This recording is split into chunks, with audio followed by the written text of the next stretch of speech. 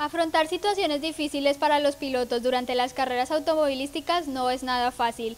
Mantener la calma y principalmente la concentración son algunas de las recomendaciones que se deben tener en cuenta. Ángel Benítez, campeón de la Copa Porsche GT3, nos habla al respecto aquí en los tips de Vamos TV. Hola amigos de Vamos TV, aquí estamos en Honda International Speedway en Miami.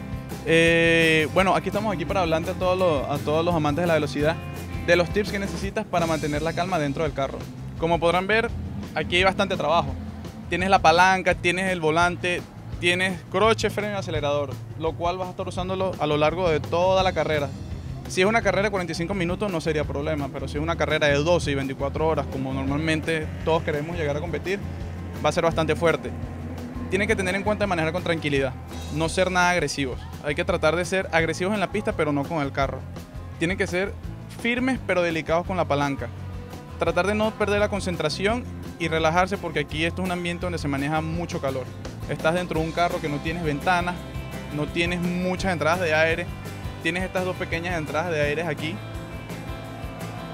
Una viene casi del motor, otra viene del aire del exterior. Entonces hay que tratar de mantener la calma, hay que aprovechar lo más posible.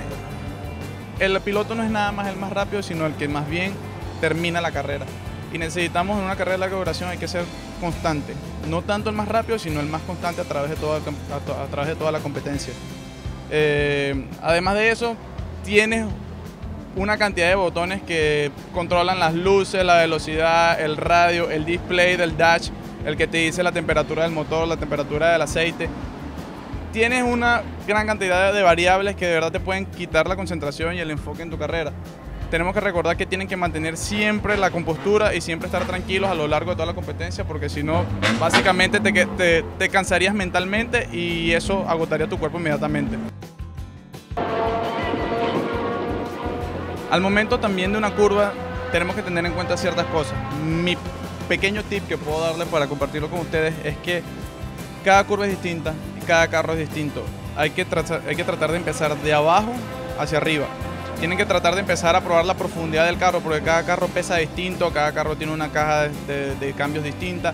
Entonces la profundidad va a variar en base a lo que el carro te esté proveyendo. Así que tiene que siempre estar pendiente de frenar lo antes posible e ir paso a paso, porque la verdad las carreras de carros son peligrosas. A todos nos gusta, es súper excitante, pero son peligrosas y tenemos que mantenernos en pista y estar de primero. Para ganar, primero hay que terminar. Así que tenemos que ir probando poco a poco porque en el momento que, tengamos un accidente con el carro, simplemente se nos podría acabar el fin de semana y agotaríamos todas nuestras posibilidades.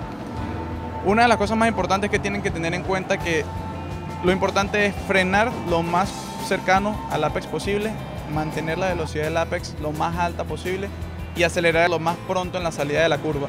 Esto va a ser la diferencia entre ustedes y los demás pilotos. Esto es lo que hace que tú cuando llegues a la próxima curva ya vayas preparado con una ayudita de un poquito más de potencia en, comparación a tus competidores y puedas lograr ese, ese avance que necesitas para hacer el pase en la siguiente curva. Muchas gracias amigos de Vamos TV por estar con nosotros. De verdad un saludo a todos aquellos amantes de la velocidad y que espero que les hayan gustado estos pequeños tips de alta competencia.